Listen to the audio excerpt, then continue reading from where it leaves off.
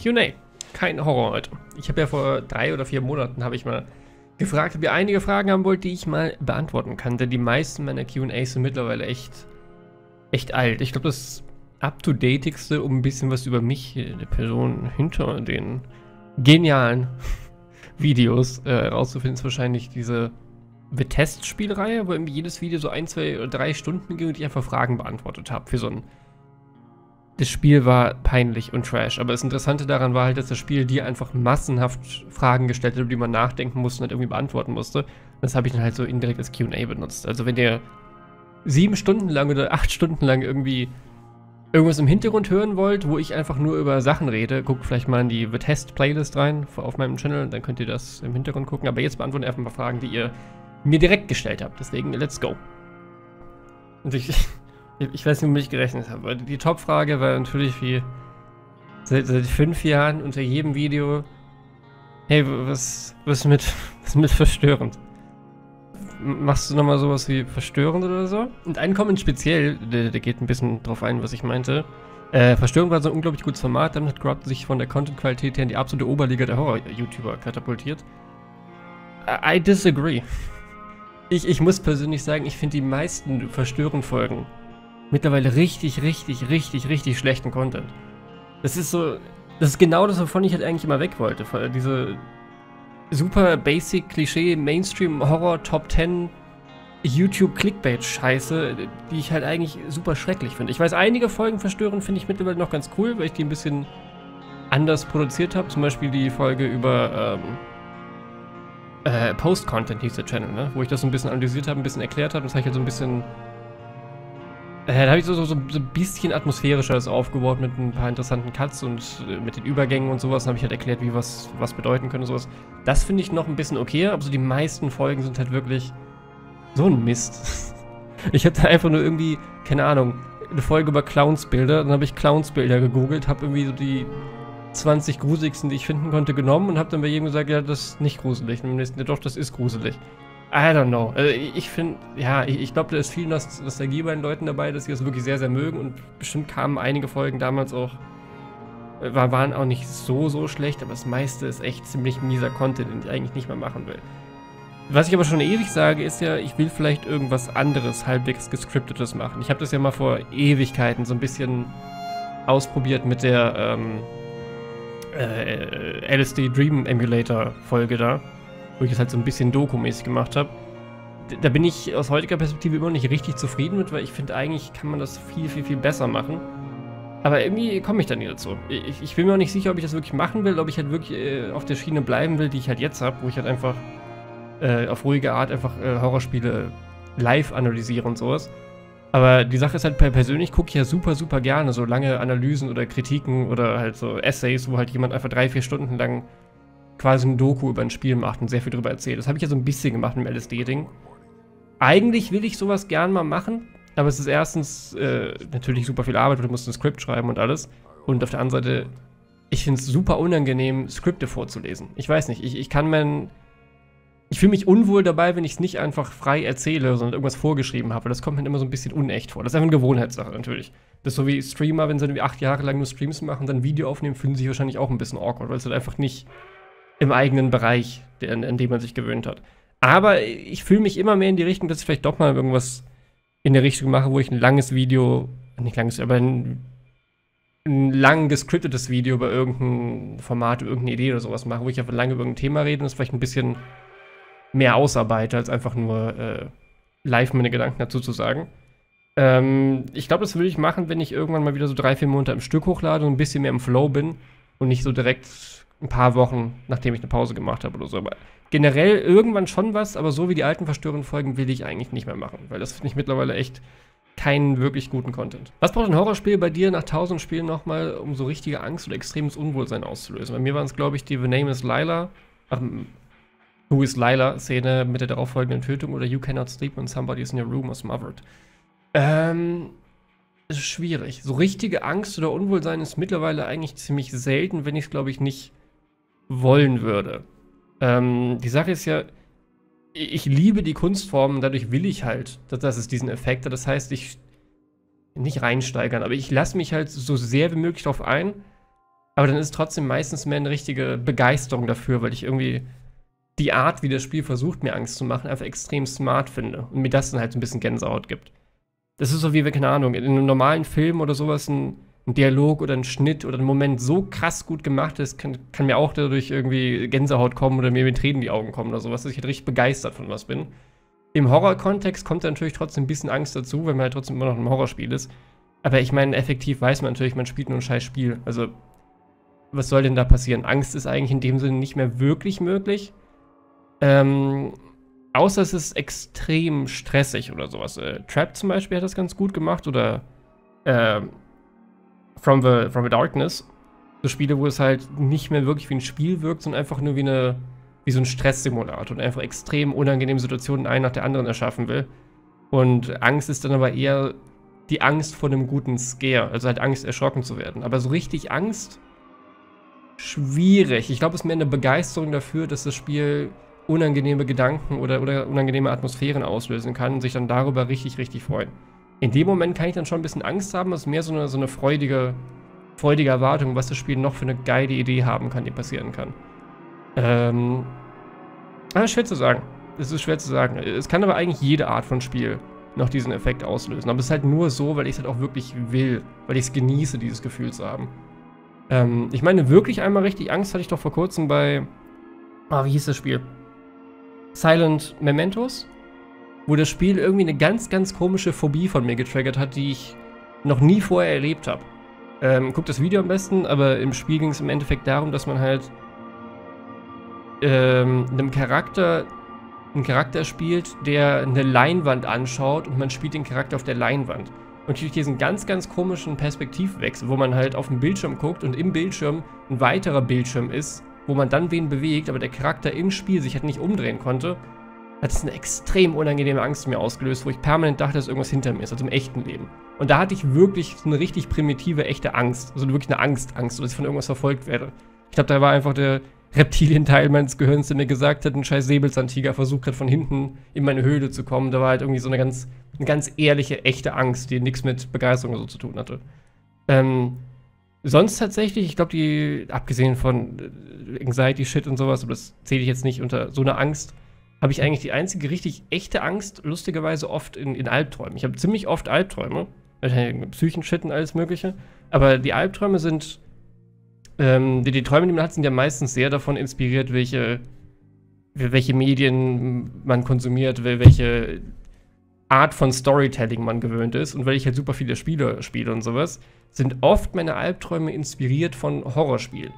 Aber in den Träumen kann man es ja nicht. Ähm, versteht man ja den Konzept von cool gemachter Kunst nicht. Wenn dich in einem scheiß Traum einfach jemand verfolgt, hast du ja eine Todesangst. Dann denkst du nicht, ah cool, wie, wie interessant das gemacht ist, während man das träumt. Ah, hier, cooler Scare, bla bla bla. Und in den Träumen, die ein bisschen gemacht sind wie Spiele teilweise, habe ich teilweise unfassbar schlimme Todesangst. Da wache ich manchmal auf und denke mir, fuck, ey, ich will jetzt nicht nochmal direkt einschlafen, dann muss ich erstmal ein, zwei Stunden irgendwie am Handy chillen, Videos gucken oder sowas. Also das ist wahrscheinlich die Angst, die ich in Spielen gerne haben würde, habe ich dann in Träumen, aber den Träumen kann man es halt irgendwie nicht, nicht richtig reflektieren und genießen, weil es halt einfach nur purer Terror ist in den Situationen. Äh, Fun Fact, mir ist aufgefallen, falls ein paar Leute von euch auch oft sehr, sehr realistische, unangenehme Träume haben, ähm, ein paar Stunden bevor ihr schlafen geht, dürft ihr nichts mehr essen. Mir ist aufgefallen, das ist ganz komisch, aber ich glaube, das hat irgendwas mit Metabolismus zu tun, dass wahrscheinlich das Gehirn dann zu stark durchblutet wird oder irgendwas und dann die Träume ein bisschen echter wirken, weil man halt im Schlaf sonst nicht viel anderes macht.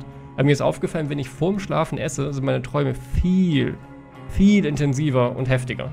Teilweise auch so, ihr kennt das bestimmt, ihr schlaft 20 Minuten, euer Traum war innerhalb von 20 Minuten gefühlt 5 Stunden lang. Dann schlaft ihr wieder ein für 20 Minuten, werdet wieder wach, dann wieder ein 5-Stunden-Traum oder sowas. Das habe ich meistens am schlimmsten, wenn ich irgendwie noch was groß gegessen habe vom Schlafen oder so, weil ich irgendwie einen Hunger hatte oder was auch immer. Aber ja, gut. Lange Antwort zu einer simplen Frage. Würdest du sagen, dass dein persönliches Interesse an Horrorgames einen Einfluss auf deine Mental Health Situation hat oder hatte? Zu mir meinte mal jemand in einer depressiven Phase, dass ich mich nicht mit dem Genre Horror auseinandersetzen solle. Das würde es nur schlimmer machen. Ich persönlich habe zum Beispiel American Horror Story als Flucht aus der Realität geschaut und halte die Aussage für Quatsch, aber mich würde deine Meinung interessieren. Und äh, noch dazu eine sehr ähnliche Frage. Du hast einerseits an Depressionen, spielst aber Horrorspiele, die negative Emotionen auslösen. Horrorgames müssen dir also irgendwas geben, das den Umgang mit der Depression erleichtern. Was denkst du, sind diese Dinge? Ist es die Ablenkung? Oder dass man sich kontrolliert in eine bedrohliche Situation begibt und so lernen kann, mit dieser besser umzugehen. Etwas ganz anderes. Äh, beides sehr interessante Fragen und das ist auch ein Thema, wo, glaube ich, schon einige Mal in Spielen gesprochen habe. Ich finde, äh, man, weiß natürlich nicht, wenn sowas angefangen hat, aber ich, hab, ich weiß, dass ich mein ganzes Leben lang schon irgendeine Form Horror interessant fand. Auch als, als Kind, so mit sieben oder acht oder sowas, wollte ich immer mit meinem, meinem Großvater Geist spielen. Wir waren immer, als dunkel geworden ist, wir in den Garten gegangen und dann hat, hat er sich immer vor mir versteckt und wollte mich erschrecken. Wollte ich halt, dass er das macht. Dann bin ich halt mit den Taschenlampe durch den Garten gelaufen, habe hinter jeder Ecke gedacht, oh fuck, gleich kommt er da und springt mich an.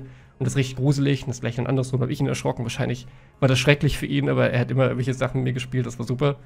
Und ähm, später habe ich dann gemerkt, so mit 12, 13, 14, das ist schwer zu sagen, was angefangen hat. Habe ich halt angefangen, so richtig die normalen Horrorspiele super interessant zu finden.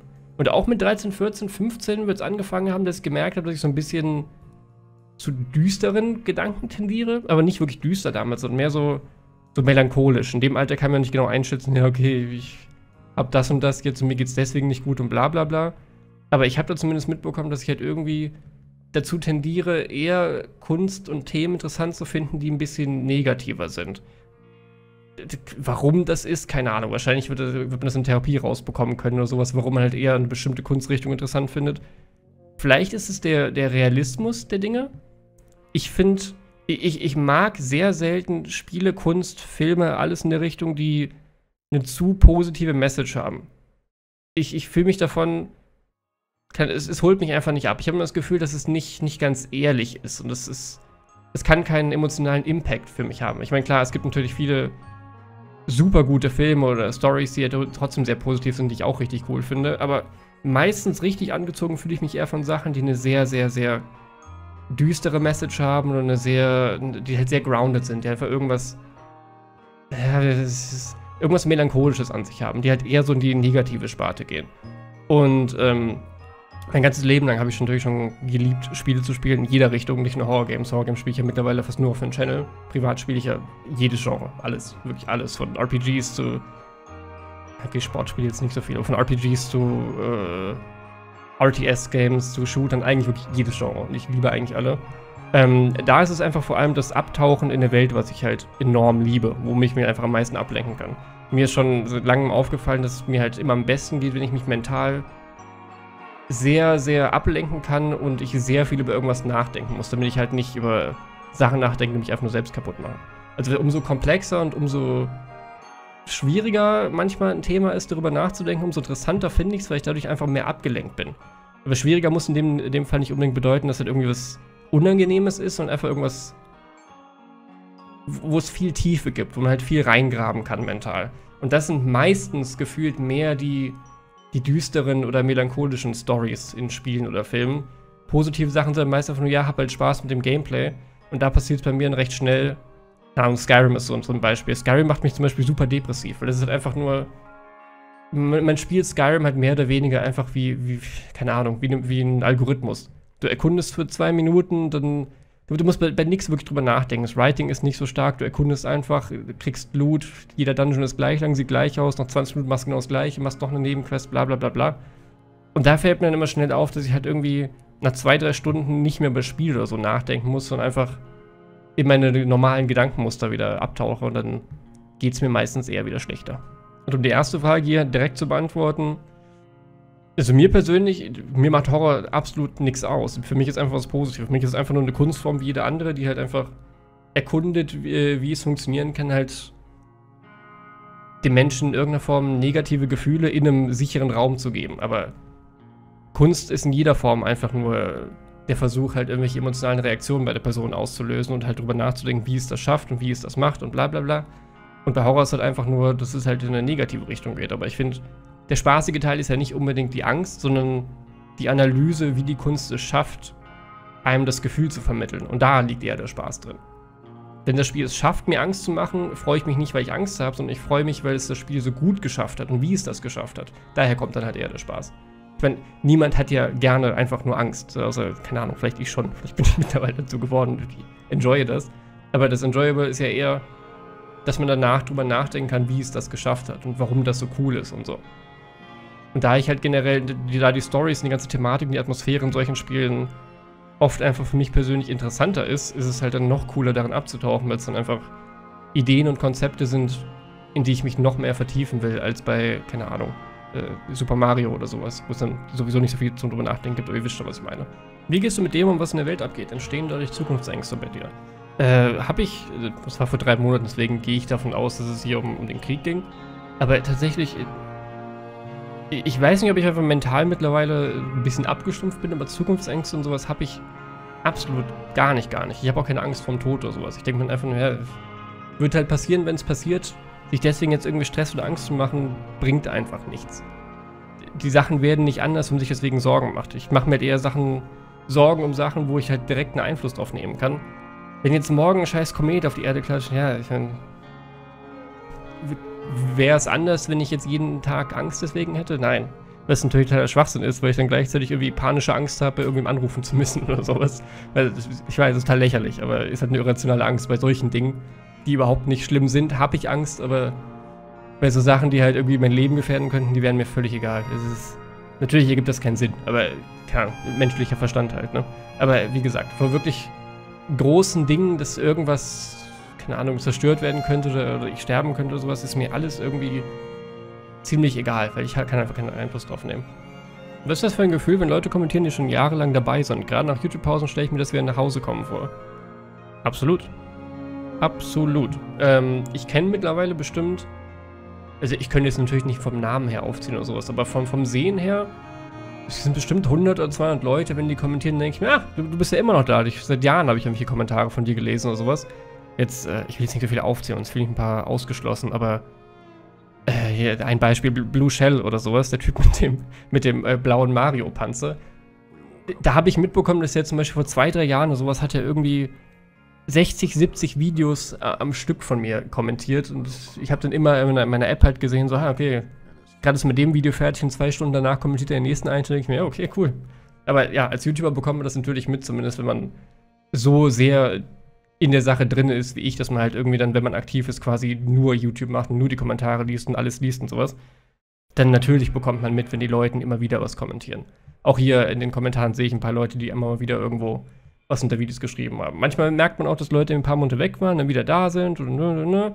Aber wie gesagt, so 200, 300 Leute oder sowas würde ich wahrscheinlich vom Namen her wiedererkennen, wenn sie was schreiben, aber aufzählen ist natürlich schwer, weil man kann sich nicht so viele Profilnamen und sowas merken. Aber man erkennt sie auf jeden Fall wieder und das ist ein sehr schönes Gefühl, dass viele von euch äh, so lange dabei sind und immer wieder kommen. Das macht mich innerlich natürlich sehr glücklich. Und danke, BTW, dass du auf, für deine Community auf so viele Kommentare antwortest. Fühlt man sich appreciated. Mach ich sehr gerne. Ich lese super, super gerne die Kommentare, weil es sind zum Glück bei mir auch sehr viele coole. Der ist nicht so viel Bullshit, einfach nur nice Video, Emoji, Emoji oder keine Ahnung, richtig lustiger Joke XD. Sondern halt wirklich Leute, die einfach auf die, auf die Videos und die Spiele, vor allem auf die Spiele eingehen, mit denen man einfach wirklich drüber, drüber reden kann. So, hey, wie findest du die Stelle hier, das war gut gemacht und ja, da hast du recht, bla bla bla. Oder irgendwelche Theorien über die Spiele und sowas. Und das macht halt wesentlich mehr Spaß. Das ist einfach nur gutes Video. Bist der Beste. Weil das ist halt einfach, ja, das hat halt irgendwie dann, ich meine, natürlich freue ich mich auch über sowas, aber es hat halt natürlich keinen, keinen wirklichen Mehrwert, einfach nur gutes Video zu lesen. Da will ich halt einfach lieber über das Spiel selbst reden oder sowas. Das macht es natürlich für mich wesentlich interessanter und da kann man auch länger darauf antworten und wirklich einen, einen, richtigen Dialog führen. Und das macht äh, sehr viel Spaß. Du in alten Videos heutzutage cringe? Ich rede hauptsächlich von den legendären FNAF-Zeiten, auch der Zeit davor. Ich muss sagen, dass mir deine jetzigen Videos viel besser geben kann, da du im Vergleich zu früher viel erwachsener und ehrlicher wirkst. Ja, I agree, 100%. Ich finde alles vor. Ich weiß, früher habe ich ja wie gesagt, hab, früher habe ich immer gesagt, dass so die Videos vor 2016 alle richtig schlimm sind, danach geht's. Mittlerweile finde ich alles vor 2019 oder 2020 wirklich pff, tough. Ich meine, natürlich gibt es ab und zu ein paar Videos, die vielleicht ein bisschen, ein bisschen besser gealtert sind. Vor allem in den Einteilen war ich ja immer ein bisschen, ein bisschen ruhiger und habe die versucht, die Spiele ein bisschen ernster zu nehmen. Aber selbst so 2019, 2020 habe ich Videos, wo ich mir jetzt denke, doch, Alter, halt die Fresse. Was laberst du für eine Scheiße? Ich wahrscheinlich kommt es als Zuschauer nicht ganz so schlimm rüber, aber ich, die ganz alten sind natürlich super kindisch und schlimm. Aber wirklich auch bei Videos, die ein, zwei Jahre teilweise alt sind, ein, zwei Jahre nicht so, aber zwei, drei Jahre alt sind, denke ich mir mittlerweile wirklich, nee, das geht doch gar nicht. Oh, was ist das für ein Content? Also ja, ich cringe da teilweise extrem. Das ist aber tatsächlich schlimmer geworden in den letzten zwei, drei Jahren, wo ich es ja doch ein bisschen angezogen habe von äh, der Art, wie ich die Videos mache und jetzt natürlich ein bisschen langsamer alles, ein bisschen analytischer angehe als vor zwei, drei Jahren noch, wo ich halt immer noch so 50-50 gemacht habe. Da war ich so meistens relativ ernst bei den Spielen, aber ab und zu habe ich halt trotzdem dann so ein Baldi oder sowas gegrindet. Und, oh, das ist. Ich, ich bin froh, dass die Zeit vorbei ist. Und ich finde es sehr schön, dass viele von euch auch mitbekommen haben, dass sich das geändert hat und ich jetzt ehrlicher wirke, weil. Ja, natürlich. Wenn man mit YouTube anfängt, man muss halt irgendwie. Die Sache ist, ich habe ja äh, YouTube direkt nach der Schule angefangen und ich hatte das Ziel gehabt, das direkt früher oder später als Job machen zu können. Was dann natürlich dann indirekt einen ziemlichen Druck gibt, wenn man weiß, man muss irgendwann damit Erfolg haben, sonst, sonst kann man halt davon nicht leben, muss ich dann äh, irgendeinen anderen Job suchen oder sowas. Deswegen muss ich halt so die ersten ein, zwei Jahre wirklich sehr ekelhaft grinden. Ich weiß, damals fand ich das nicht mehr so schlimm. Aus heutiger Sicht war es schon, oh, ich habe das schon sehr das YouTube-Game gespielt. Und äh, ich kann mir wirklich die Videos aus der Zeit nicht mehr wirklich angucken, weil es einfach so genau das Gegenteil ist von dem, was ich halt jetzt sein will. Und wenn ich jetzt meine alten Videos als neuen YouTuber sehen würde, ich würde mich hassen. Ich würde mich schrecklich finden. Ich würde sagen, Alter, guck doch nicht so eine Scheiße, ist ja schlimm.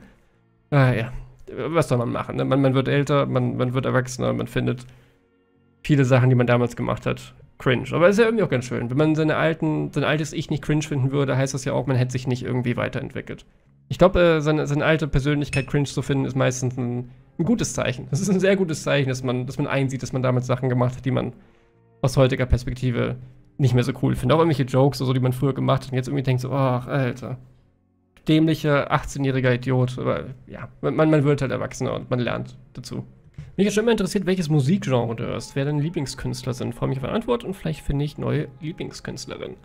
Ähm, vor allem experimentellen Kram mittlerweile. Ich habe irgendwie aktiv fast, fast jedes Genre, außer jetzt irgendwie Pop oder Schlager oder sowas durch. Ich habe in meiner Teenagerzeit extrem viel Metal gehört, so New Metal, System of a Down, Sachen in der Richtung halt und ein bisschen deeper natürlich noch Sachen, aber sehr, sehr viel Metal. Ähm, Slipknot, bla bla bla, so wie jeder 15-jährige Outsider, Gaming-Nerd, Metalhead halt. Ähm, danach super viel.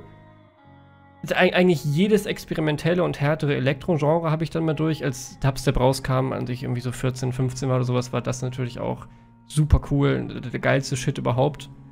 Ähm, ich weiß noch, damals fand ich immer, als das rauskam, fand ich Skrillex immer sehr cringe, weil ich dachte, so, das ist kein richtiger Dubstep das ist Bro-Step und das ist nicht so cool wie der richtige Dubstep. Und jeder UKF-Release war immer ein, ein, richtiges neues Highlight. Und ich habe meinen Freunden immer jeden neuen Song geschickt und so. Das war schon eine, eine ganz lustige Zeit. Ja, dann halt Drum and Bass, dann irgendwie. Mittlerweile habe ich auch ein bisschen äh, Death Electro super gern gehört. Also so.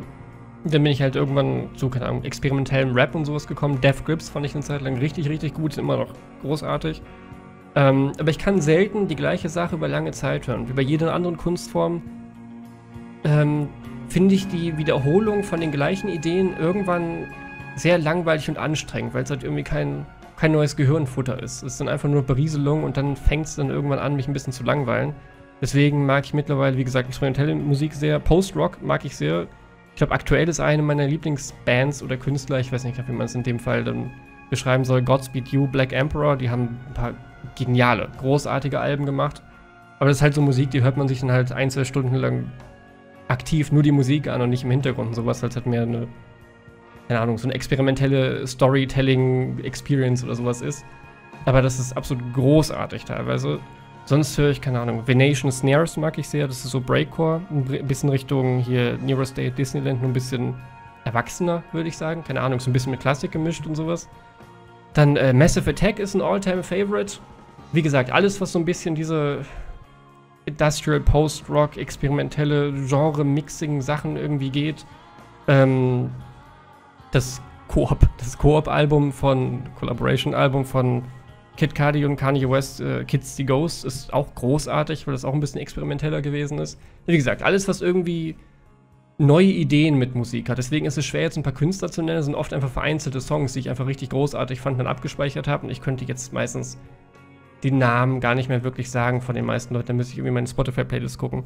Aber so richtig aktiv im Hintergrund Musik hören mache ich mittlerweile äh, relativ selten. Meistens ist es dann so, dass ich mir einfach dann wirklich die Zeit nehme und irgendwie ein neues Album, was ich cool finde, gerade gefunden habe, einfach anhöre, das dann großartig finde und dann, keine Ahnung, kann es sein, dass ich mittlerweile in ein, zwei Wochen fast gar keinen Song mehr höre, weil ich einfach nur zur Berieselung gibt mir das irgendwie nicht mehr so viel, wie es mir früher gegeben hat. Ich weiß, früher konnte ich mir gar nicht vorstellen, irgendwie nicht jeden Tag mit fünf Stunden einfach Musik am Laufen zu haben, aber äh, es, es, klingt doof, aber es ist irgendwann einfach ein bisschen, ein bisschen langweilig geworden. Weil man hört irgendwann auch nicht mehr zu. Es ist einfach nur von Hintergrund und bla bla bla. Ich mag es trotzdem noch, falls ich irgendwie wieder Rocket League spiele oder sowas und einfach das Ernst ein bisschen Grinder von Hintergrund, so ein bisschen Musik, der ein bisschen hochpusht, ist natürlich geil, aber ja, äh, es muss was Cooles, Neues, Experimentelles rauskommen, was mir gefällt, dann höre ich es aktiv, aber sonst äh, hat es ein bisschen nachgelassen auf jeden Fall. Ich würde immer noch den zweiten Namen interessieren. Im QA vor Jahren hast du mir gesagt, dass es mit A anfängt und wir raten sollen. Äh, in dem Freddy hat es niemand erraten. Ich glaube, es hat so generell niemand erraten.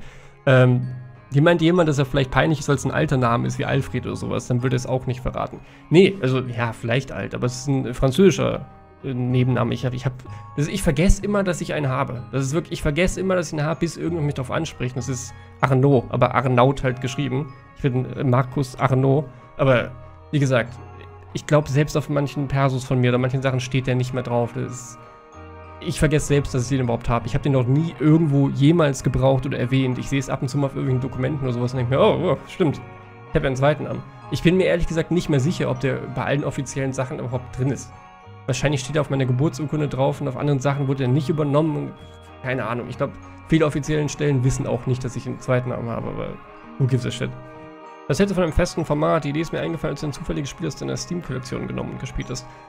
Das wollte ich lustigerweise genau machen, nachdem ich hier das QA aufgenommen habe, aber könnt ihr gucken, ob das hier vorher oder später rausgekommen ist. Aber das fand ich als Idee auch ganz lustig, das will ich aber nicht als festes Format machen, weil ich habe einfach nicht das Durchsetzungsvermögen oder die, die, Durchhaltefähigkeit, irgendwie ein Format über längere Zeit durchzuziehen. Das habe ich ja Verstörung noch geschafft und so, aber da fand ich es auch schon schrecklich. Weil oft hatte ich an dem Tag, wo ich es dann hochladen wollte, überhaupt keinen Bock auf Verstörung, dann habe ich es einfach schnell irgendwie zusammengeklatscht und so. Deswegen will ich eigentlich einfach nur die Art von Video dann machen, wenn ich mich gerade danach fühle. Und die zweite Frage, hältst du es für möglich und sinnvoll, eine offizielle Kollaboration mit einem Entwickler wie wir das zu machen? Das ist eine rein freundschaftliche Sache und es beruht in dem Fall einfach aus gegenseitigem Respekt und äh, ja, und, und Freude, dass halt die andere Seite das so cool findet, was man jeweils macht. Aber offiziell, ich, ich weiß nicht, warum ich das tun sollte. Ich meine, wenn du es so meinst, dass die Entwickler mich dafür bezahlen, dass deren Spiele spiele, warum sollten die das tun, wenn ich sowieso spiele? Es ergibt überhaupt keinen Sinn. Und ich finde, in dem Moment, wo man von der anderen Seite Geld bekommt, äh, corrupted, das aber auch etwas äh, das Verhältnis, finde ich. Weil fühlt man sich dann irgendwie dazu gezwungen, vielleicht nicht ganz so hart zu was zu sein, was man sieht? Oder äh, ich, ich mag das nicht. Ich meine, klar, wenn halt irgendwie jetzt irgendein neues Horrorgame mir ein bisschen Geld bietet und sagt, hey, kannst du es vielleicht mal anschauen, aber bewährt es ganz normal, dann ja, okay, dann, dann vielleicht, wenn es halt irgendein Horrorgame ist, was ich vielleicht irgendwann später eine To-Do-Liste dran hat und die sagen, hey, kannst du vielleicht jetzt machen? Sowas, das wäre okay. Das finde ich dann auch, das finde ich auch voll in Ordnung, weil es dann einfach dann normales Video ist, was ich machen wollte, aber halt einfach nur vorgezogen. Oder halt irgendein Spiel ist, was ich vielleicht niemals gefunden hätte oder sowas. Aber es ist halt schwierig, weil ich meine, die meisten Horrorgames würde ich ja so oder so spielen. Das heißt, warum zur Hölle sollten die mich dafür bezahlen? Und, ähm, ja, sonst, was könnte sonst eine offizielle Kollaboration gemeint sein? Äh, dass man halt irgendwie Partner voneinander ist oder sowas und gegenseitig Werbung macht. Aber ich meine, das machen wir ja so schon indirekt, weil wir halt einfach befreundet sind. Deswegen, äh, ich hab's lieber so, wie es jetzt ist. Man hat einfach, man mag sich einfach gegenseitig. Man findet das, was man gegenseitig macht, sehr cool, als irgendwie dafür bezahlt zu werden. Ich werde lieber dann indirekt von YouTube dafür bezahlt, dass ich halt einfach Content für euch mache und nicht von den Leuten, für die ich vielleicht Werbung mache. Ich will lieber extrem hart weiterhin sein können und sagen können, wenn ein Spiel einfach scheiße ist und will ja nicht irgendwie jemals das Gefühl bei irgendjemandem erwecken, dass ich vielleicht jetzt ein Spiel nur cool finde, weil ich dafür bezahlt wurde oder sowas. Lustigerweise glaube ich, die meisten Horror-Games, für die ich für die ich ein Placement hatte, fand ich nicht mal so gut. Ich erinnere mich an Man of Medan. Ich glaube, die haben ein Video gecopyright striked oder sowas. Ich bin mir nicht mehr, ich weiß, das Video ist gecopyright striked worden. Ich weiß aber nicht, ob es daran liegt, dass ich das Video, dass ich das Spiel nicht sonderlich gut fand. Aber ich weiß, die haben es copyright striked. Ich finde es nur ein bisschen komisch, dass das lustigerweise genau dann passiert ist, nachdem ich ein Placement mit denen hatte und ich das Spiel nicht so gut fand. Aber vielleicht ist es Zufall und vielleicht waren die es gar nicht direkt. Vielleicht war es irgendwie ein YouTube-Ding, aber war nur ein bisschen seltsam. Angesichts der hier primär auf dem Kanal vertretenen Videospiele, aber auch anderen Kunstformen, mit denen du dich vermutlich zusätzlich privat auseinandersetzt, würde mich interessieren, ob, du, ob es primär der Konsum ist, der dich fasziniert und zum äh, Eskapism äh, verhilft, oder ob es auch das Gestalten und Umsetzen eigener Gedanken, in welcher Form auch immer, ein ähnliches Gefühl geben kann. Das ist eine sehr coole Frage, die gefällt mir. Ähm, ich glaube, für mich ist die Analyse und Bewertung von der Kunst selbst äh, eine eigene Kunstform, um meine Gedanken zu bestimmten Themen zu strukturieren und über meine eigenen Emotionen nachzudenken. Ich glaube, für mich ist es einfach eine Art von Selbsttherapie, dass ich halt über, über die Sachen, die ich halt in den Spielen sehe und nachdenken kann, ähm, wörtlich ausdrücken kann und quasi halt wie so, ein, wie so ein Tagebuch für euch hier präsentieren kann. Weil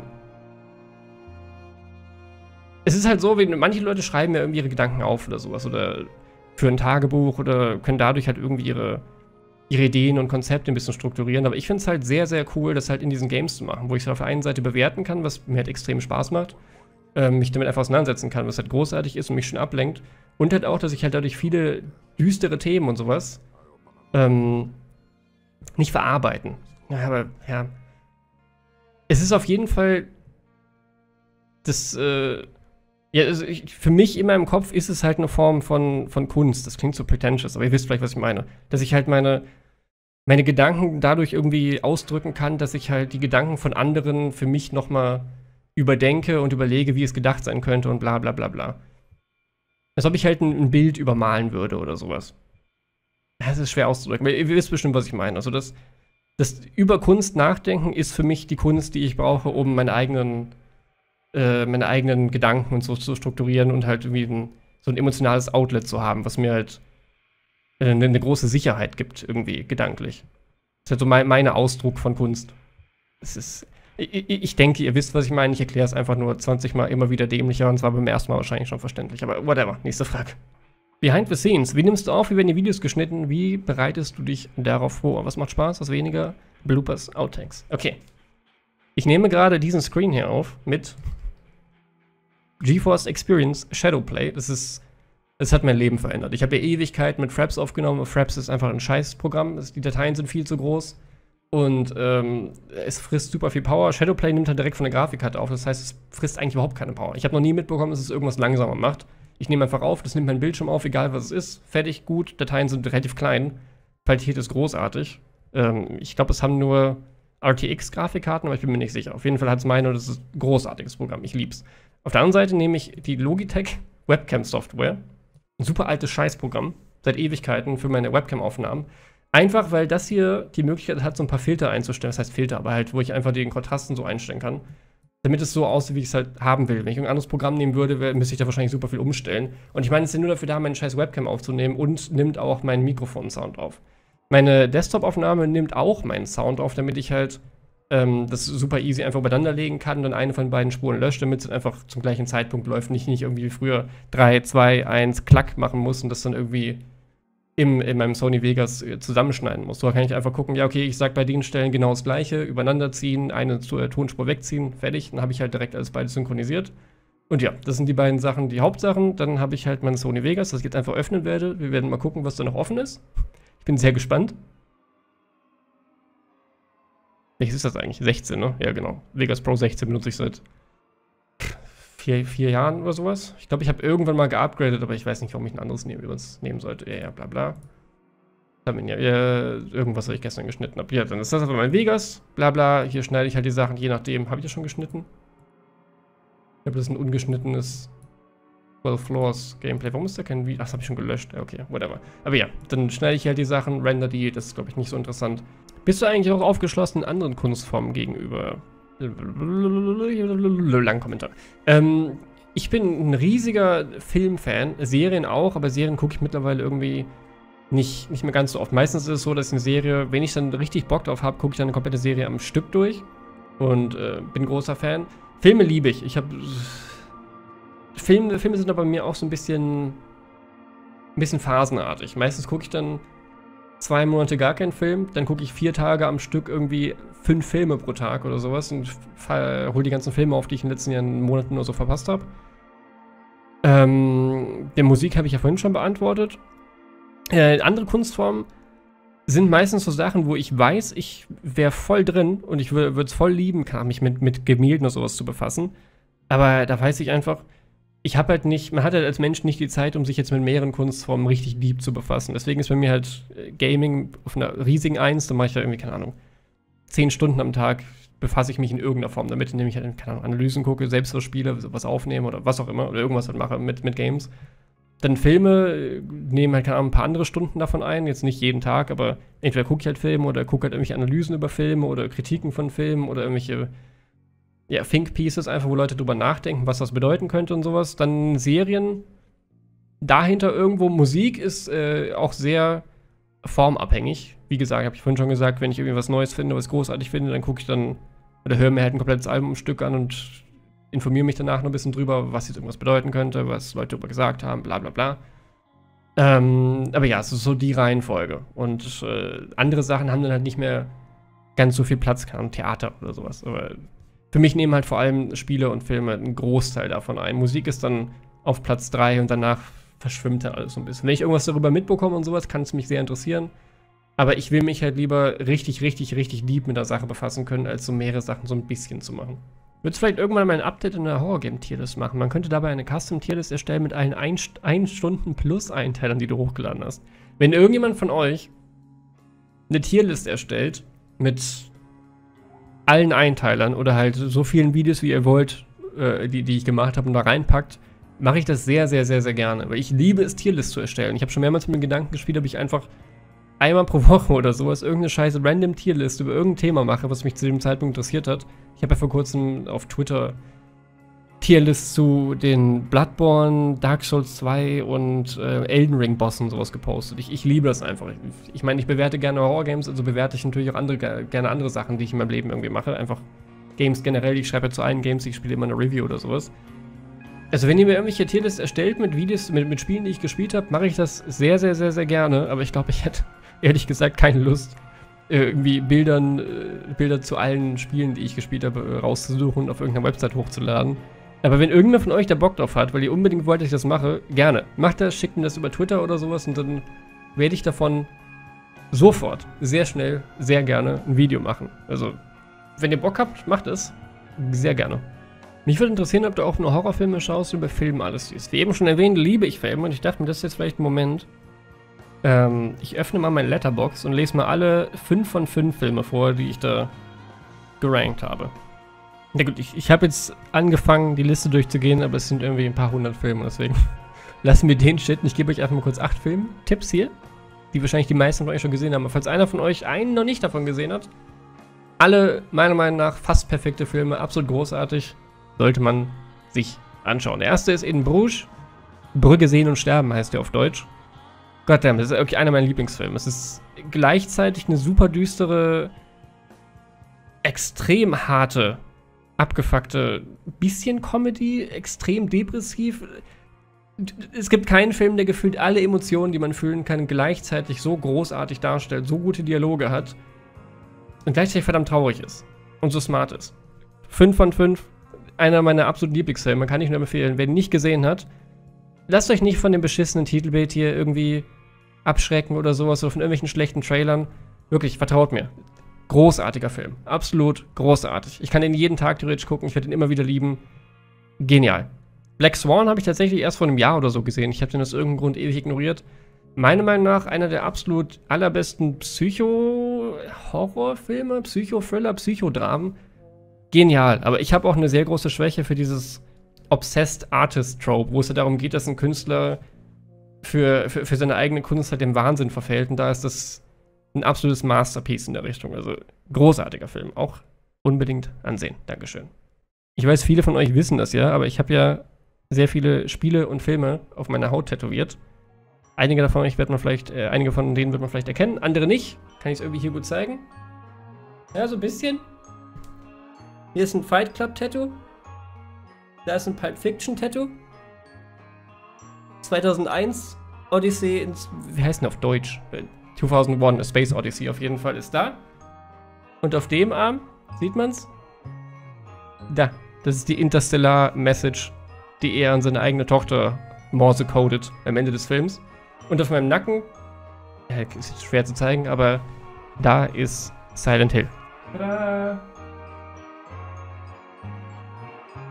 Tada. Achso, und ich habe ein Blair Witch Opfergabending auf der anderen Seite von meinem Arm. Von dem Film, nicht von dem Spiel. Das Spiel, Spiel war ja, geht so gut. Okay, weiter. Whiplash. Wundervoll. Absolut wundervoll. Ich, ich weiß, ich habe Pulp Fiction sowas tätowiert, aber ich dachte, sowas wie Fight und Pulp Fiction und sowas muss ich jetzt, muss ich hier keinem empfehlen. Jeder, der Filme mag, wird die schon gesehen haben. Wenn ihr sie nicht gesehen habt, guckt einfach. Ist ja jetzt ja kein Geheimtipp oder sowas. Das ist ein kleiner Geheimtipp. The Thin Red Line. Äh, kann wie auf Deutsch heißt, aber den sollten wir auch nicht auf Deutsch gucken. Auf Deutsch ist der wirklich scheiße. Auf Deutsch wirkt das wie ein trashiger 90er-Jahre-Actionfilm. Auf Englisch wirkt es wie ein. Ja, wie, wie, ein, wie, wie ein Gedicht. Es ist schwer zu erklären, aber es wirkt wie ein, ein Kunstfilm über Natur, gemischt mit ein bisschen Krieg, aber der Krieg ist irgendwie die Nebensache da. Es, es geht in dem Film um diesen Clash von, von wunderschönen Natur und Umgebung und philosophischen Monologen und, und Briefen, die irgendwelche Soldaten schreiben, gemischt mit der Brutalität des Krieges in einer, wie gesagt, wunderschönen Umgebung. Es ist ein sehr, sehr, sehr kunstvoller Film. Guckt ihn auf Englisch und dann werdet ihr ihn lieben. Er ist sehr langsam. Er ist sehr langsam und manche von euch werden ihn vielleicht ein bisschen pretentious finden, aber ich fand den wunderschön. Ich fand den absolut wunderschön. Den habe ich meiner Mom gezeigt und das ist einer meiner Lieblingsfilme von meiner Mom geworden. Wirklich. Wenn ihr mal irgendwie drei Stunden geht, der Film, wahrscheinlich geht der gar nicht so lang, oder?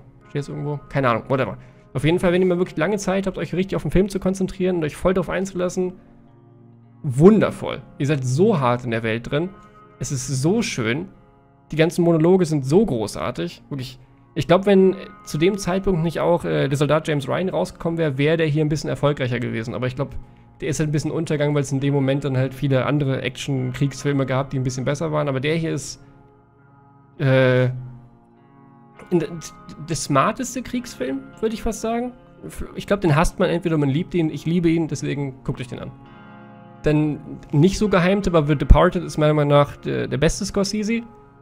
Ich finde den großartig. Alles daran. Von, von Anfang bis Ende, großartiges Casting, großartige Story, großartiges Ende. Hart, gut. Ich glaube, mein absoluter Lieblingsgangsterfilm. Ja, ich meine, es gibt, ich glaube, es beruht auch auf einem japanischen Originalfilm. Ich bin mir nicht sicher, den habe ich nie gesehen, aber ich finde die Version schon so großartig. Vielleicht würde ich das Original noch besser finden, aber ich glaube, viel besser als das geht's für mich nicht, wenn es um so einen Gangsterfilm geht.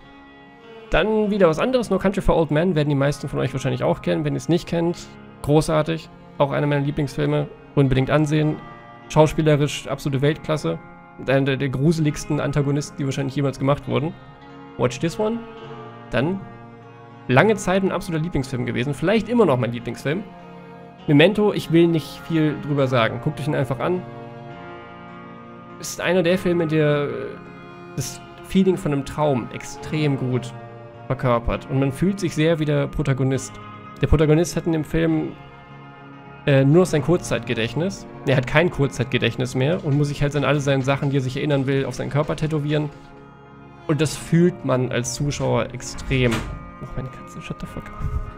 Ähm, man fühlt sich genauso verloren wie der Charakter, weil der Film hat auch in einer Reihenfolge abgespielt wird, wie man selbst nicht wissen kann, wann was passiert ist und es ist super verwirrend. Der lohnt sich auch zweimal anzuschauen, weil beim zweiten Mal versteht man viel mehr, was wann wie genau passiert ist und der Twist kommt dann noch ein bisschen besser an als. Guckt euch den an, wenig drüber wissen, sehr gut. I love this movie. Dann zwei moderne Filme, die man mehr oder weniger als Horrorfilme zählen kann. Auf der einen Seite Midsommar, werden die meisten Horrorfans von euch auch kennen, ist meiner Meinung nach einer der besten modernen Horrorfilme, auch wenn es halt nicht unbedingt super gruselig ist, aber sehr verstörend und sehr kunstvoll und good shit von Anfang bis Ende, kann ich nur empfehlen. Und dann wahrscheinlich mein absoluter Lieblingsmoderner Film, Uncut Gems, mit, ja, mit Adam fucking Sandler, der in dem Film beweist, dass der ein großartiger Schauspieler ist. Ein absolut großartiger Schauspieler. Der Film ist von Anfang bis Ende eine reine Panikattacke. Es gibt wenig Filme, bei denen ich jemals mittendrin mal eine Pause machen musste, weil er mich einfach so extrem gestresst hat. Wirklich man kann es nicht beschreiben, aber der Film ist so unfassbar anstrengend, äh, anstrengend stressig. Es geht dir einfach nicht gut, während du den Film guckst. Und das macht der Film sowas von, von großartig. Es ist richtig unangenehm, diesen Film zu sehen. Umso weniger ihr wisst, umso besser. Guckt den am besten im Originalton. Äh, ihr werdet schwitzen. Es ist wirklich. Es ist der pure Horror auf eine andere Art. Es ist im Endeffekt kein wirklicher Horrorfilm. Aber es ist wirklich, der wirkt, als ob ein Film einfach eine, eine Anxiety-Attack simulieren will, wo es ja von Anfang bis Ende richtig gestresst geht, du nur im Zittern bist und oh, das ist richtig anstrengend anzuschauen und das macht er so gut. Ich glaube, es ist mein Lieblingsfilm aus den letzten drei, vier Jahren, würde ich sagen. Good fucking shit. Guckt euch den an. Wenn ihr einen von den Filmen auf der Liste als Geheimtipp mitnehmen wollt, den ihr noch nicht gesehen habt, dann äh, macht den hier. Wirklich. Ich weiß nicht, ob es den aktuell irgendwo gibt. Den gab es lange Zeit auf Netflix. Vielleicht immer noch, aber ich liebe den. Großartig. Glaubst du, dass die Angst, die man hat, wenn man zu viel über das Universum. Glaubst du, dass die Angst, die man hat, wenn man zu viel über das Universum nachdenkt, auch durch ein Spiel eingeflößt werden kann? Wenn ja, hast du Beispiele? Hat schon einer gut beantwortet. Safe Soma. Ja, ich meine, im Endeffekt kann das natürlich fast jedes Horror-Game machen. Das Schöne an Kunst ist ja, dass man jedes Stück Kunst so interpretieren kann, wie man es halt selbst haben will, mehr oder weniger. Und bei Horror geht es natürlich sehr, sehr gut.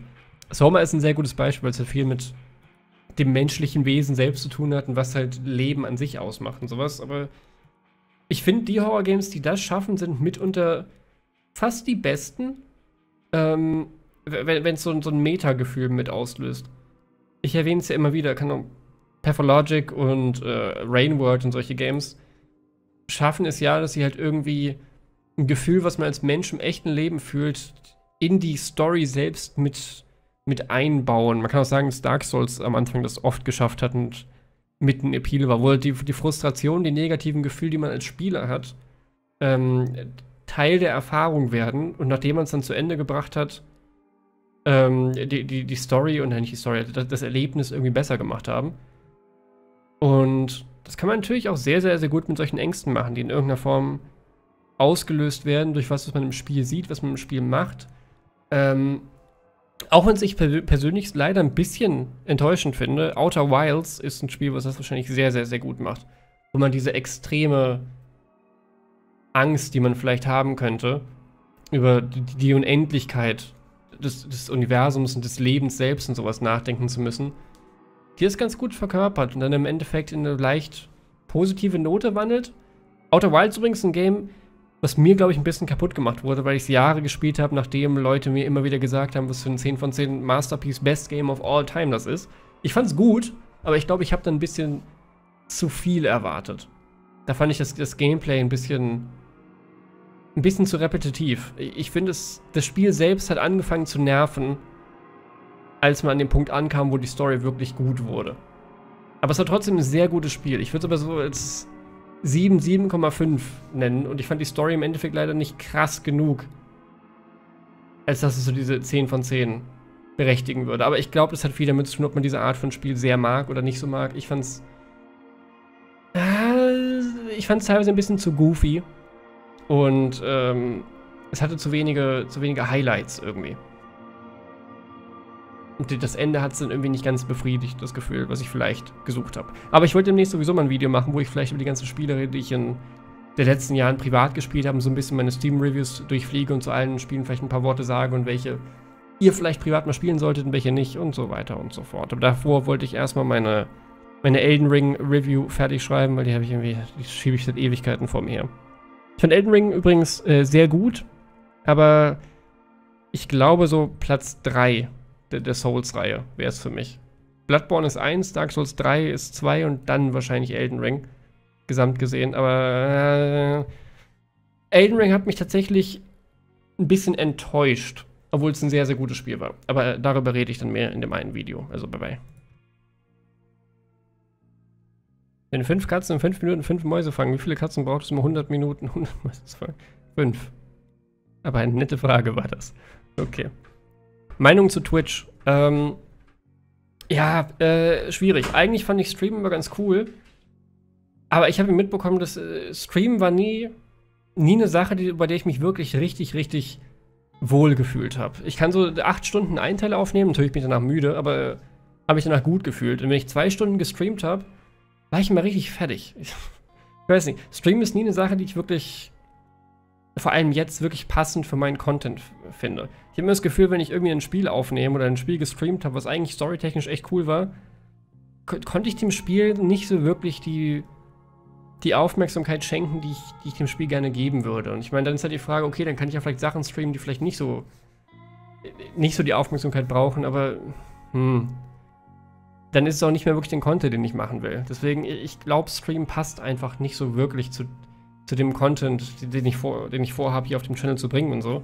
Klar könnte ich dann vielleicht einfach irgendwelche entspannten Sachen spielen oder so, aber irgendwann vielleicht, ich halte es mir gerne offen, aber ist jetzt zumindest nicht für die nahe Zukunft geplant. Vielleicht irgendwann, wenn ich ohne Probleme irgendwie am Stück Videos machen kann und nicht dort irgendwie in Pausen verfalle oder sowas.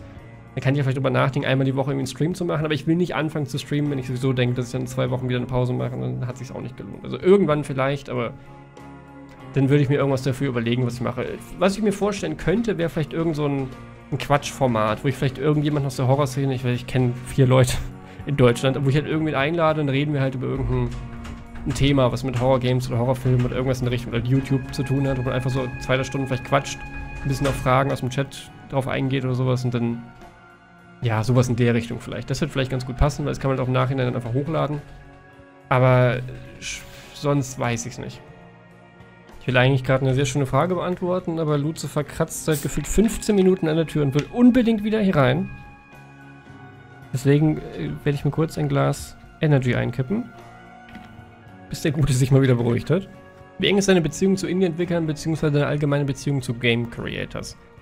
Unterschiedlich. Ähm, wie gesagt, mit Vidas bin ich ganz gut befreundet. Mit Somewhat hatte ich eine Zeit lang recht guten Kontakt, mittlerweile auch nicht mehr so viel.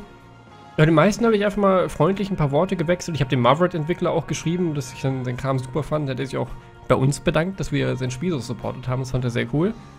Äh, sonst ja, also ich sag den meisten, dass ich das Spiel cool fand oder sowas, aber ich bin jetzt nicht super eng mit dem befreundet. Manche von denen schicken mir ab und zu mal irgendwie einen neues, neuen Release oder sowas und sagen, hey hier, ich habe das rausgebracht, spiel's vielleicht mal irgendwann, wenn du willst. Ich sag, hey cool, danke, mach ich irgendwann. Ich mach's dann nicht, meistens, weil ich's vergesse. Aber ja, ähm. Boah, Aber ja, ich bin generell keine Person, die sonderlich gut darin ist, Kontakt mit irgendwem zu pflegen. Meistens bin ich dann einfach irgendwann inaktiv oder schreiben halt nicht mehr zurück. Aber mit, mit Vidas zum Beispiel, alle paar Monate schreiben wir mal wieder recht viel. Reden über Sachen, die so passiert sind und sowas. Ich würde sagen, das ist meine, meine engste Freundschaft mit irgendeinem Entwickler. Die restlichen sind meistens einfach eher oberflächlich oder man kennt sich halt und folgt sich gegenseitig. Aber ich meine, ich habe jetzt auch mit anderen Creatoren sehr, sehr wenig zu tun. Ich habe eine, eine Horror-Games-Gruppe mit Bruga, Shaui und Seth. Aber die ist auch oft mal äh, einen Monat oder so inaktiv und dann so, hey, hier, habt ihr das Spiel gespielt? Und die so, ja, ist scheiße, kannst du skippen. Und denken, ja, okay, schade, die haben in letzter Zeit eh nicht mehr so viele gute Sachen gemacht. Und dann so, ja, ja, ich war auch ein bisschen enttäuscht. Aber ja, da, da reden wir ab und zu mal bei irgendwelchen neuen Games, die rausgekommen sind. Oder einer sagt, hey, ich habe das und das gespielt, das ist vielleicht was für dich, Rupti. Oder hier, Seth spielt das, das ist ganz lustig. Aber so super nahen Kontakt mit auch nicht. Aber da tauschen wir uns, keine Ahnung, einmal im Monat oder alle paar Monate mal aus ob irgendwas Neues, Gutes rausgekommen ist oder wie lange irgendein Spiel ist oder ob sich lohnt, das aufzunehmen oder ob man das eher für irgendwann später aufheben sollte und so weiter. Aber sonst habe ich wenig Kontakt, also wenig engen Kontakt mit irgendwelchen Entwicklern oder anderen YouTubern.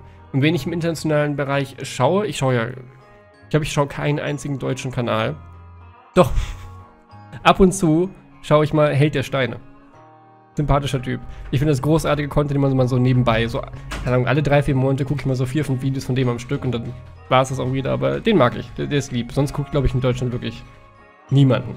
Im englischsprachigen Bereich, ich meine Horror, ich gucke natürlich keine anderen Horror-Channels, weil, also keine Horror-Let's Play oder Channels oder sowas, weil das wäre Schwachsinn. Da würde ich mich ja spoilen, da würde ich ja die Games vorher mal gucken.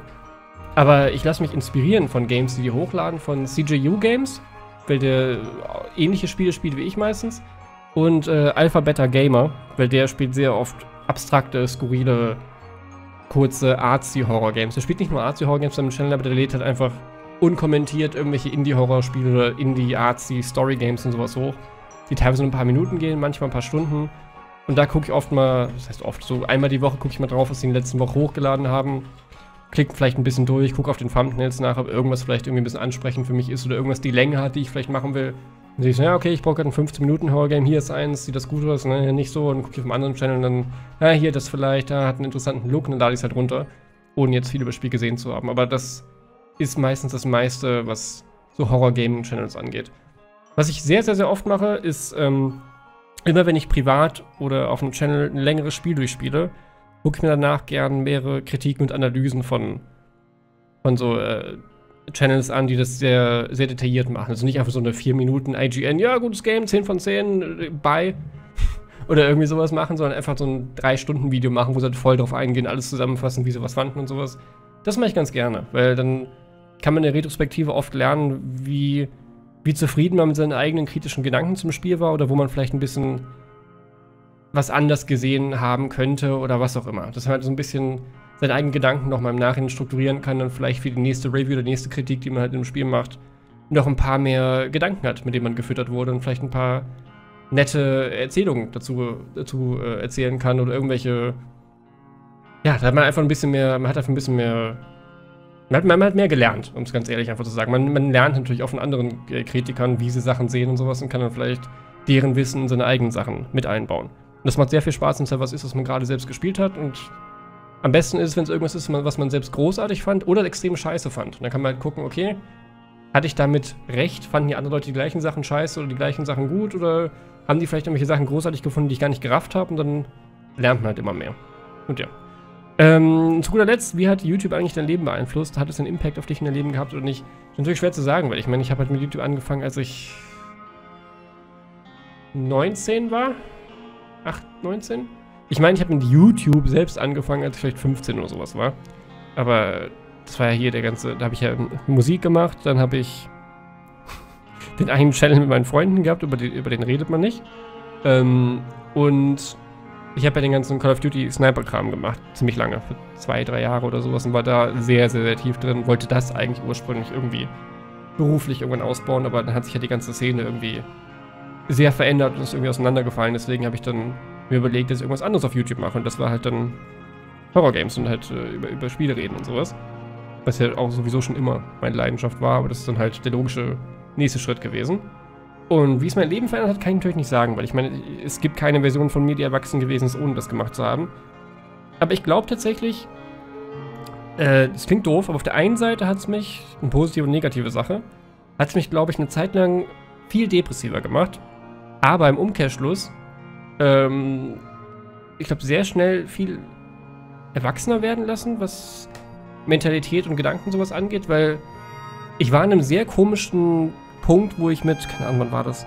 21, 22, wo der ganze FNAF-Kram halt super, super gut lief, hatte ich dann halt im Endeffekt alle Sachen erreicht, die ich eigentlich machen wollte. So, so Sachen, die ich mir mit 18, 19 vorgestellt habe, so ja, Erfolg mit YouTube haben, bla bla, davon leben können, eine coole Community aufbauen. Und das hatte ich dann halt zwei Jahre später irgendwie erreicht. Und weil ich halt schon immer diese,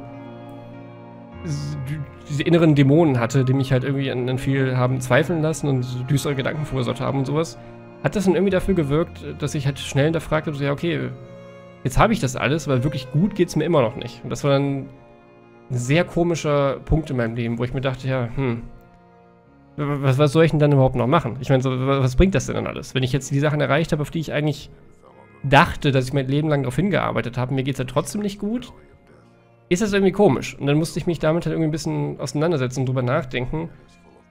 Was ist denn dann? Gibt es überhaupt sowas wie ein Ziel? Soll man überhaupt versuchen, irgendwas zu erreichen? Das hat dann schnell dafür gesorgt, dass ich dann viel über solche philosophischen Themen und existenzielle Ängste und sowas nachgedacht habe. Und ich glaube, dadurch bin ich sehr schnell viel reifer geworden, was dann auch dafür gesorgt hat, dass ich meinen Content, glaube ich, umgewandelt habe. Weil ich glaube, dadurch, dass ich halt gesehen habe, ja, okay, die ganze Kram, den ich dachte, der mir wichtig wäre, so wie YouTube Erfolg haben und eine Fanbase aufbauen und sowas, das bringt, das ist scheißegal. Das bringt überhaupt nichts. Ich glaube, zu der Zeit habe ich wahrscheinlich auch am meisten verdient, aber whatever. Ich meine, ich habe dann schnell gemerkt, scheiß drauf. Solange ich irgendwie davon leben kann, bin ich zufrieden. Ich muss jetzt nicht fünfmal so viel haben oder sowas, weil glücklicher macht es mich nicht. Äh, irgendwie hat es nicht viel gebracht und der Content, den ich da gemacht habe, hat mich irgendwie auch nicht erfüllt.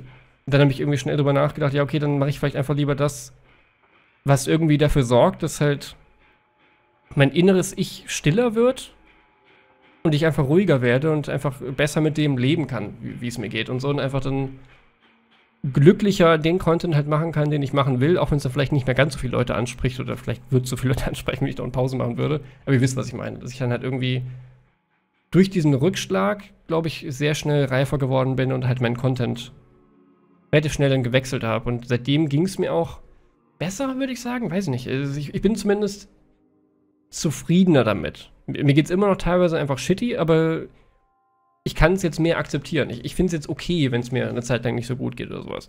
Ich, vielleicht ist einfach eine Gewöhnung daran oder so. Aber es ist, glaube ich, ein gesünderer Umgang. Zumindest, weil ich halt irgendwas habe, womit ich mich dann teilweise ablenken kann und einfach zufrieden bin, wenn ich das halt aktiv verfolgen kann und mental ein bisschen abgelenkt bin. Aber ja, also ich glaube, YouTube hat ja, da hat mich, glaube ich, sehr schnell viele Sachen einsehen lassen, die wirklich wichtig sind im Leben und welche Sachen nicht wichtig sind und worauf ich mich fokussieren will. Und ich glaube, ich habe damit so eine, so eine, frühe Midlife-Crisis gehabt mit 21, 22 oder sowas. Durch die ich, glaube ich, dann sehr schnell mental gereift bin und halt viel über Sachen nachgedacht habe, die vielleicht andere Leute nie bedenken müssen, bis sie irgendwann mit 50 irgendwie merken, dass sie halt lange den gleichen Job machen oder sowas und irgendwie hinterfragen, so, hey, hier, was, was mache ich überhaupt im Leben? Das hatte ich irgendwie, glaube ich, sehr früh. Was komisch war, weil ich konnte halt logischerweise, na klar, ich meine, ich hatte sehr, sehr gute Freunde zu dem Zeitpunkt, ich konnte gut mit denen reden, aber jemand, der halt gerade sein Studium anfängt, kann natürlich jetzt vielleicht nicht super gut nachvollziehen. Und es wirkt dann auch ein bisschen pietätlos, wenn ich die halt frage, so, hey, ich habe erreicht, was ich erreichen will, mir geht's nicht so gut. Und dann denken sich, hey, du Arschloch. Ich arbeite im Lidl und will einfach mein Studium finanzieren. Ich kann dein Problem nicht wirklich nachvollziehen. Deswegen war das schwer. Aber ich meine, es gibt halt wenig Leute im gleichen Alter, die ein ähnliches Mindset haben und auch mit YouTube im gleichen Alter irgendwie dann erfolgreich geworden sind und die dann irgendwie verstehen konnten, was man gefühlt hat. Aber äh, ja, ich, ich glaube, das konnte ich halt viel dann anfangen mit der Kunst, die ich analysiert habe, zu verarbeiten und sowas und viel darüber nachzudenken. Äh, ich glaube, ich habe auch relativ viel in den Test-Videos drüber geredet. Also wenn ihr mehr mitbekommen wollt, guckt vielleicht mal die Videos. Da gibt es bestimmt ein paar Punkte, wo ich viel solche Sachen angesprochen habe. Aber ja. Ähm, also ja, ich glaube, YouTube hat einiges verändert, aber ich weiß halt nicht, wo ich. Wahrscheinlich wäre ich in irgendeinem anderen kreativen Beruf gelandet, wenn ich kein YouTube gemacht hätte. Und vielleicht hätte ich da halt überhaupt keinen Erfolg gehabt. Deswegen ist es schwer zu sagen, ob es dann da ähnlich abgelaufen wäre. Aber ich glaube, früher oder später wäre ich zum gleichen mentalen Entschluss gekommen. Nur vielleicht nicht so früh. Aber ja, also ich glaube, YouTube war, war, war, sehr, sehr gut für meinen, für meinen mentalen Zustand. Ich spiele übrigens die ganze Zeit, während ich quatsche, mit irgendwelchen Sachen rum, die hier sind und zerquetsche in meinen Fingern, weil ich kann einfach nicht meine Finger stillhalten, wenn ich über irgendwelche Sachen rede, die deep sind. Kennt ihr das? Bestimmt kennt ihr das. Ich muss aber Zeit irgendwas machen mit meiner Hand. Ich bin sehr unruhig anscheinend. Okay, das Video ist schon viel zu lang, deswegen gehen wir einfach ein paar Sachen hier einfach ganz quick durch, ohne Cuts, whatever. Ähm, Cry of Fear wurde ganz oft gefragt, ja. Mache ich irgendwann. Hundertprozentig. Ich meine, das ist sogar ein, Wahrscheinlich kann ich mittlerweile fast warten, bis der scheiß Remake rauskommt, weil ich meine, da sollte irgendwie ein Remake rauskommen oder sowas, aber ja, irgendwann, irgendeine Form davon werde ich machen. Ich habe es ja einmal gestreamt. Ist immer noch eins meiner Lieblings-Horror-Games, obwohl ich dann mittlerweile ein bisschen Angst habe, dass es vielleicht gar nicht so gut gealtert ist, wie ich es im Kopf habe. Glaub aber schon, deswegen werden wir spielen. Ich werde es immer noch gut finden. Hoffe ich bitte, es ist nicht schlecht gealtert. Auf gar keinen Fall. Ich, den Gedanken werde ich aber sofort los. Es ist immer noch ein großartiges Spiel. Weiter geht's. Linda Nightmares 2, ja, ist auch geplant. Irgendwann. Kommt, kommt mit der nächsten Folge Verstörung. Nee, Linda, Little, Nightmares 2 ist tatsächlich wirklich geplant, aber ich meine, ich habe es ja von erzählt hier. Das ist meine aktuelle Videoliste mit Sachen, die ich demnächst aufnehmen will. Es sind einige. Und ich habe schon viel davon installiert, weil ich dachte, ja, heute oder morgen mache ich die und das ist halt auch schon ein Monat her oder sowas. Ich habe sehr viel geplant, was ich unbedingt machen will. Das Problem ist halt, dass die meisten Sachen davon vier Stunden oder länger gehen. Das heißt, ich kann ja nicht jeden Tag ein vier Stunden Video hochladen oder sowas. Machst mal wieder was mit Seth. Äh, keine Ahnung, es bietet sich, glaube ich, nicht so viel an, weil wir einfach komplett unterschiedliche Videos mittlerweile machen. Ähm, und ich glaube, die meisten Sachen, die ich jetzt machen sollte, sind halt eher solo. Aber falls ich halt irgendwann vielleicht dieses Talk-Format oder sowas machen sollte, dann könnte man gerne mal Seth einladen, vielleicht über YouTube reden oder irgendwas, wo wir halt beide gut drüber reden können, auch Horror Games allgemein, whatever. Äh, wie steht's zu LGBT, bla bla bla? Äh, ich bin sehr, sehr links bei den meisten Themen. Also ich bin pro Gay, pro Trans, äh, pro Choice, alles, was ihr wahrscheinlich denken könnt. Ich hoffe halt irgendwie immer, dass durch meine Videos irgendwie rüberkommt, dass ich halt bei solchen Sachen so denke und ich halt das nicht irgendwie dauernd ansprechen muss, weil ich will halt in meinen Videos eigentlich über die Spiele reden. Und äh, da ich persönlich halt äh, mich wenig mit so Themen befassen muss, weil ich halt ein weißer Heterotyp bin, der halt einfach jetzt, keine Ahnung, für den es halt einfach kein so großes Thema ist, hoffe ich halt einfach immer, es kommt einfach dann im Subtexten so rüber, dass ich für so Sachen äh, voll auf eurer Seite bin. Aber ja, ich spreche sie einmal aus. Also ja, ich bin voll auf deiner Seite und supporte dich bei allem, was du tun willst. Würdest du Shooter Games einen Versuch geben? Äh, ich meine, mache ich halt privat die ganze Zeit. Für den Channel passt es halt nicht so. Ich habe sowas wie das gespielt. Auf welches Projekt auf dem Kanal bist du am stolzesten? Wahrscheinlich Mothered.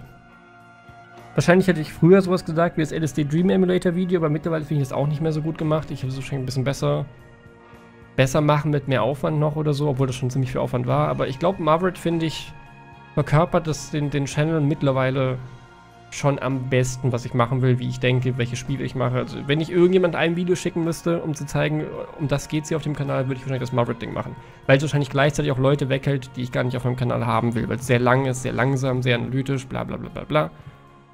Ähm, glaubst du, dass du noch mehr aus Horrorkritiken lernen kannst? Viel mehr ich, ich finde, mit jedem Video, was man in der Richtung guckt, oder mit jeder Kritik oder Analyse von anderen Leuten, lernt man immer ein bisschen mehr. Ähm, also ja, das ist eine Sache, die niemals aufhört, wo, wo man äh, dazulernen kann. Mit jedem Spiel, was ich spiele, mit jeder Analyse, die ich gucke, mit jedem Video, was ich über sowas gucke, habe ich das Gefühl, dass ich mein Repertoire ein bisschen erweitere. Und deswegen mache ich das auch so gerne.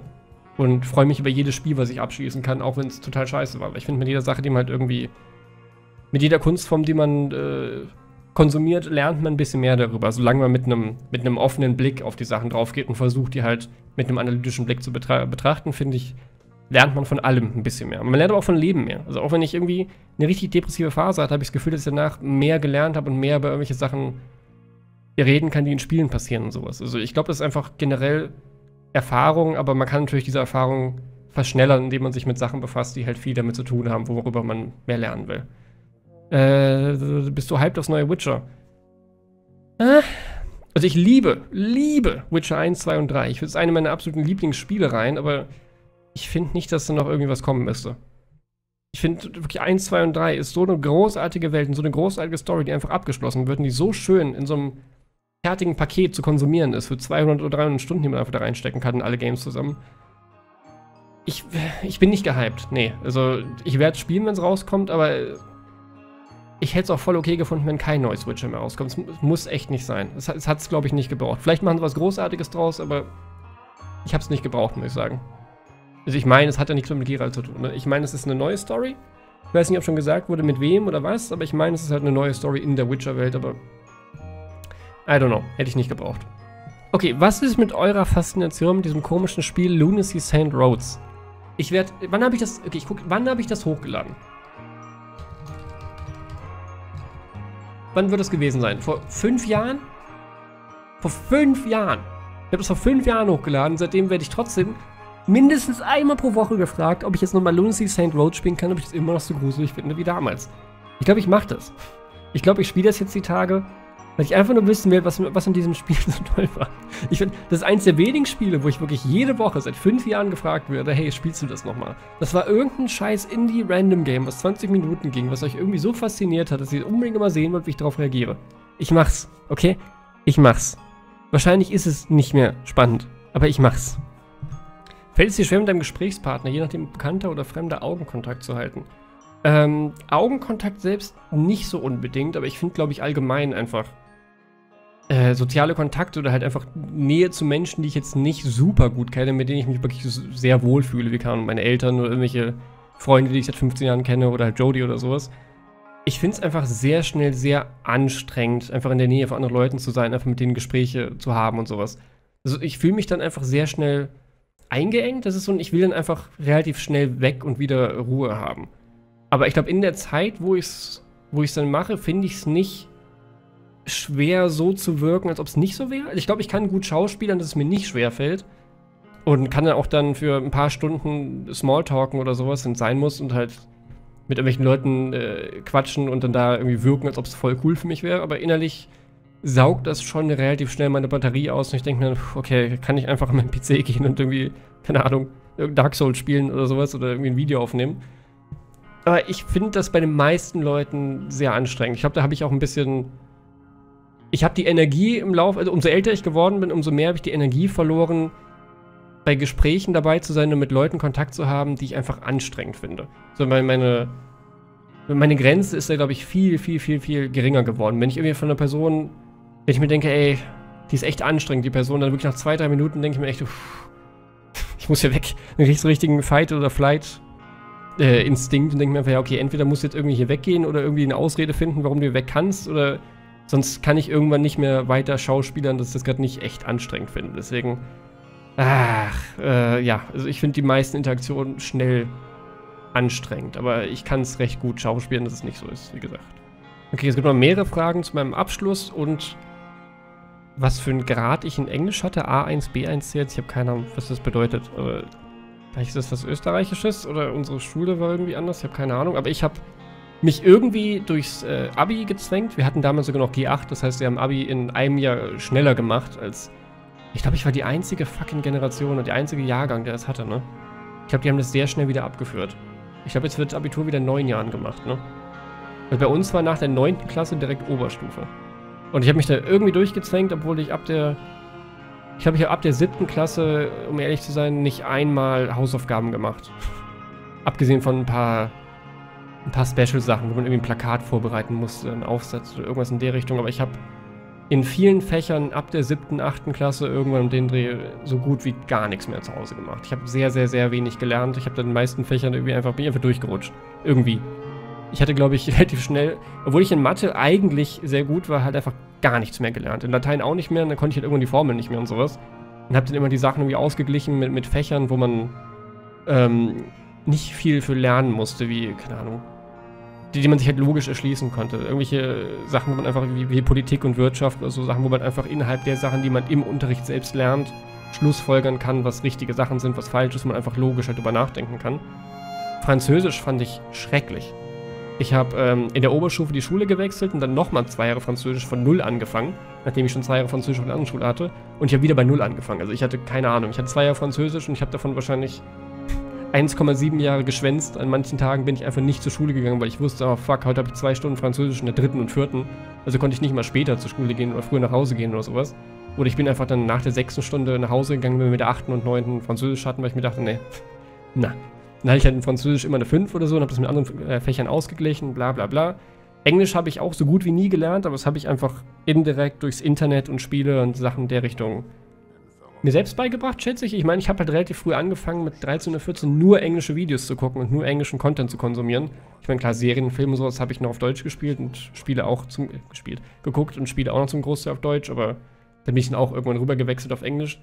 Und das meiste habe ich mir einfach äh, selbst beigebracht. Ich hatte noch einen Englisch-Leistungskurs und alles bla bla bla, aber ich habe auch immer noch sehr wenig Ahnung von.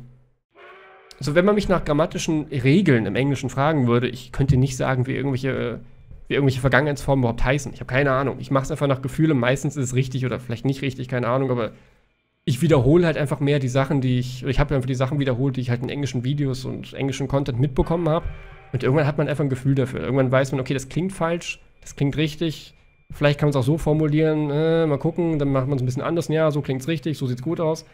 Also, ich glaube, mein, mein Schulenglisch wäre nicht mal so gut. Wahrscheinlich würden mir da irgendwelche Regeln sowas fehlen, von denen ich noch nie in meinem Leben gehört habe, weil ich aber nichts aufge aufgepasst habe oder so, aber ich glaube so mein, mein praktisches Englisch, mein Vokabular, vor allem in Games und sowas, ist deswegen sehr gut, weil ich einfach mich extrem viel damit befasst habe. Also zumindest kriege ich relativ oft von euch Komplimente deswegen, aber ich habe keine Ahnung. Ich habe das Gefühl, dass ich manchmal super langsam übersetze, aber anscheinend ist es im Vergleich zu anderen Channels ziemlich gut. Aber wie gesagt, ich, ich, ich, ich mache es halt, ich, das muss man lustigerweise ziemlich lange üben. Das ist super anstrengend so einen englischen Text zu lesen und den währenddessen sinnvoll zu verstehen, danach sinnvoll wiederzugeben, ohne dass man kompletten Schwachsinn redet, ist teilweise richtig, richtig, richtig anstrengend. An manchen Tagen fühle ich mich da echt nicht fit für.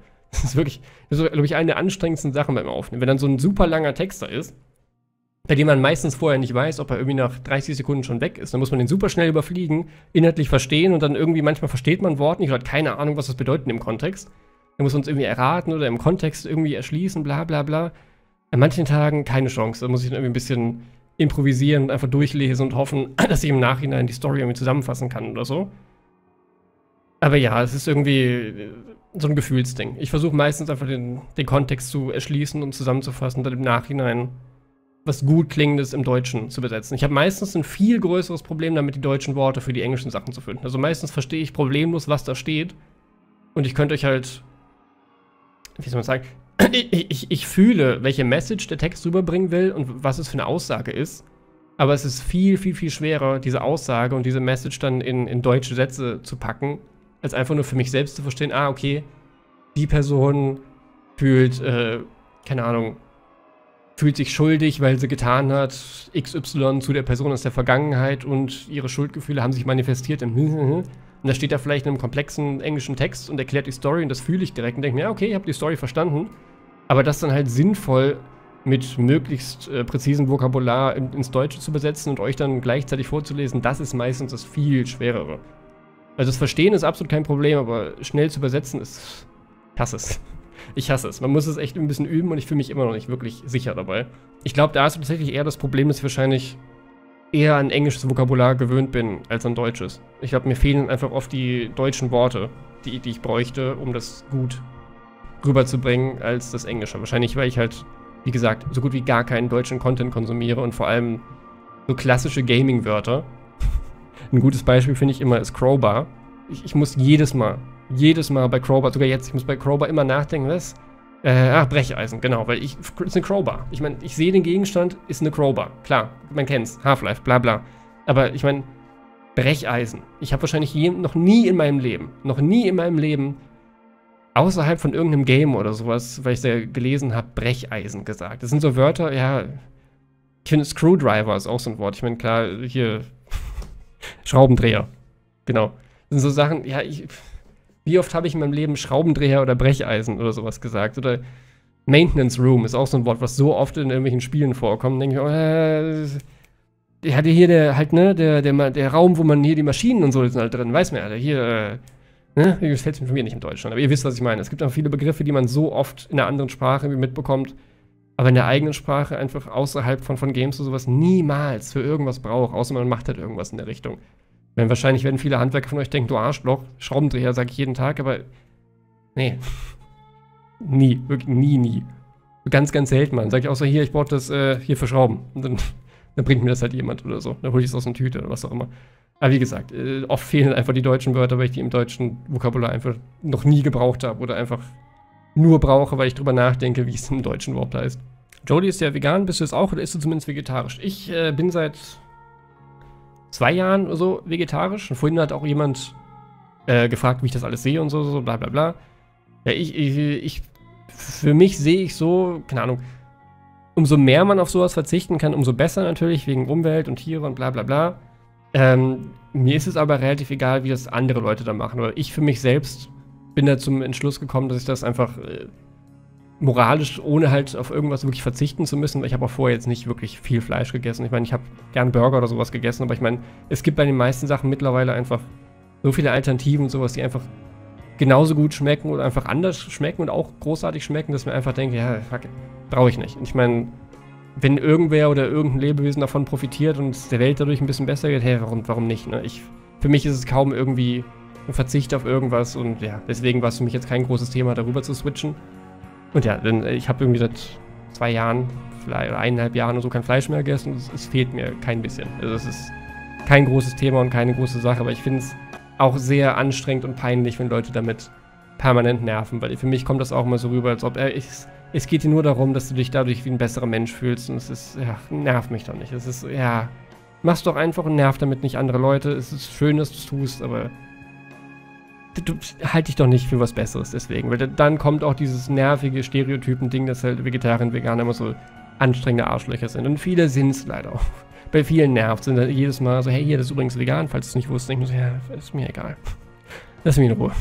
Hast du jemals etwas Übernatürliches erlebt und was hältst du von Geisterjägern? Also generell die ganze übernatürliche Schiene. Ähm, ich persönlich glaube an nichts davon. Ich war auch sehr, sehr, sehr lange überzeugt, dass es überhaupt keinen Sinn ergibt, an Geistern irgendwas in Richtung zu, zu denken.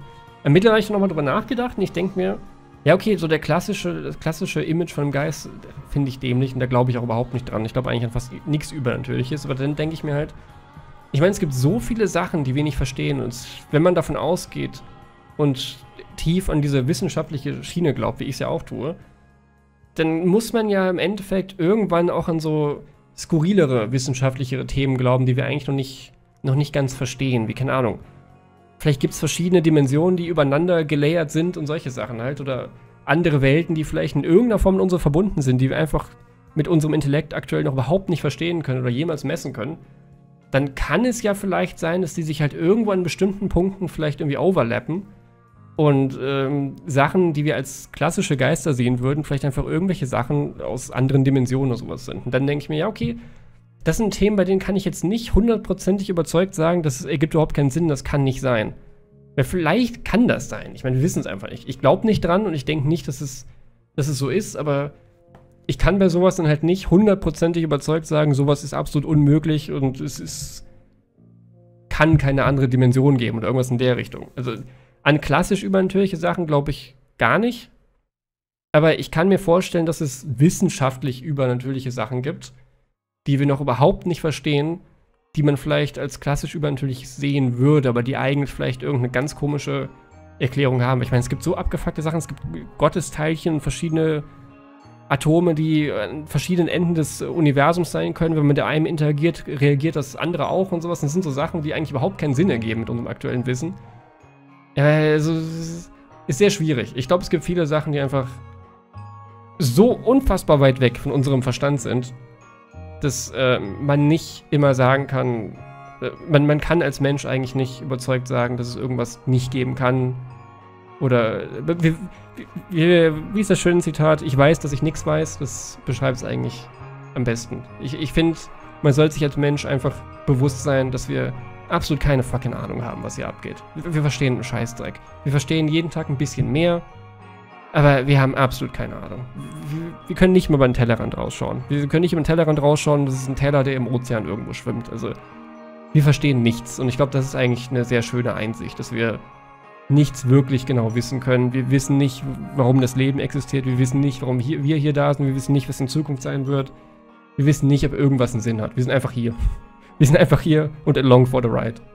Schön.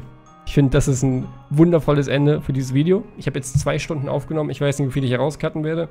Hoffentlich einiges, damit es nicht ein zwei Stunden Q&A wird, aber gut. Ich danke euch fürs Zusehen. Könnt ihr vielleicht noch ein paar Fragen oder ein paar Bezüge auf die Sachen stellen, die ich hier beantwortet habe und dann bin ich gespannt drauf, was ihr hier zu sagen habt. Bis dann. Bye bye.